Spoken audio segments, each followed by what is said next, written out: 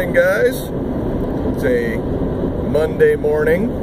Um, ready to get back into the swing of things. I'm on support this week, this week, which really sucks, but it uh, goes with the job.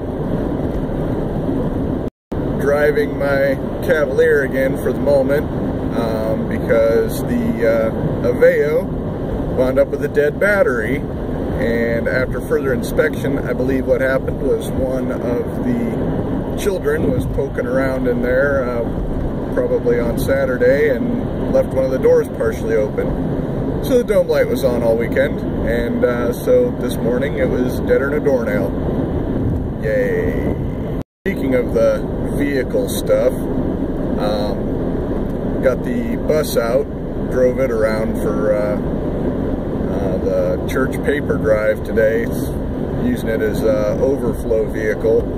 But uh, when I went to get it out, uh, the batteries were dead to start with, which a fun situation trying to jump start a, a freaking uh, big old diesel engine.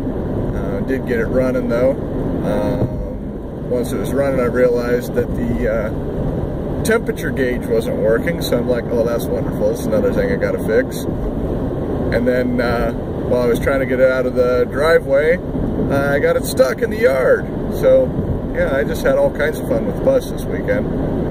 Um, was able to get it out, although I pretty much obliterated that uh, section of the yard, the edge of the driveway there.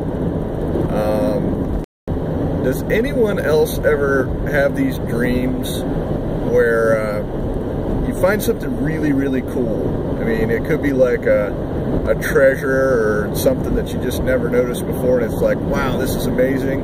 And you go to show it to everybody, and then after everybody's not impressed, you realize that it's like fake or it's, you know, chintzy or decorative or something like that, and it's not anywhere near as cool as you thought it was. I have those dreams all the time. What uh, dream interpreter would have to say about that. My second oldest son uh, had his uh, confirmation this past weekend. Um, for those of you who aren't Catholic, that's a Catholic thing. Uh, we went to eat at Golden Corral, which is one of my favorite feeding troughs. Uh, a bunch of steak and seafood and stuff like that. Uh, might as well get your money's worth when it's a buffet like that. But uh, that was an excellent meal. Very, very tasty. One of my co-workers and uh, friends is uh, opening a brewery in uh, Mansfield. They're getting ready to open the doors. They've just had their like uh, soft opening or founders get together or what the heck ever you want to call it this past weekend. Um, looking forward to checking out uh, what kind of uh, drinks they've got available, but uh, the location is going to be called the Phoenix Brewing Company, and it's actually the building is an old undertaker's establishment, so it's got a lot of uh, crazy history and stuff like that. So, be interested in uh, taking the tour and uh, sampling the brew. I think that's going to be it. Everybody have a good week. Thanks for uh, liking and sharing and commenting on this uh, video.